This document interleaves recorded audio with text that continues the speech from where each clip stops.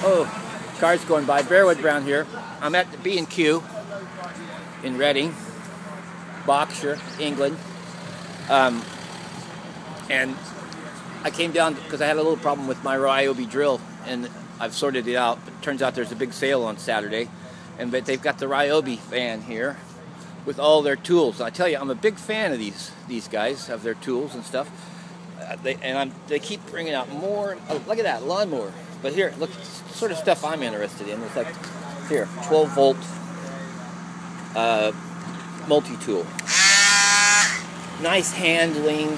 Really could be. I've got the fine model, but I want to. Here's the one. You get that that blade on there. You should be able to put that blade onto that one.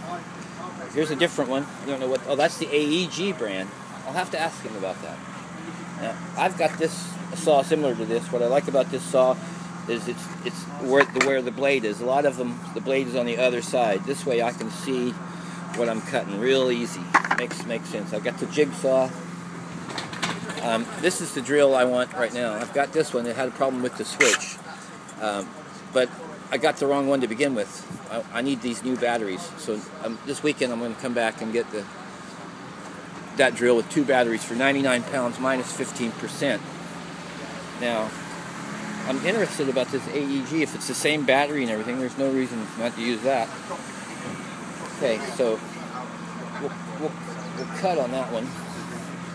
Call it part one.